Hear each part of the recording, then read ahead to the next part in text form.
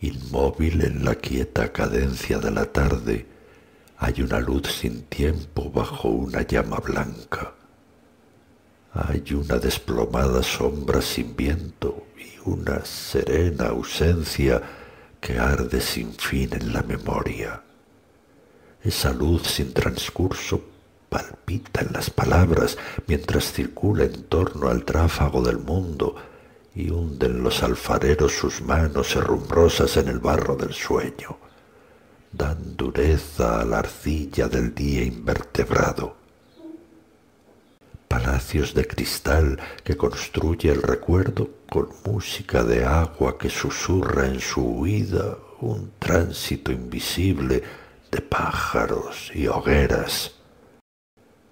Con antorchas oscuras y efímeras luciérnagas, las palabras descubren los lirios en la nieve, deshielan las estepas, conversan con los muertos y amanecen con águilas que vuelan sobre un puente, sobre el río caudal de la memoria.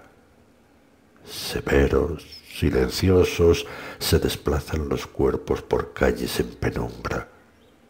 Una flauta en la noche desorienta al viajero y un coro de tristeza le hiere y le acompaña.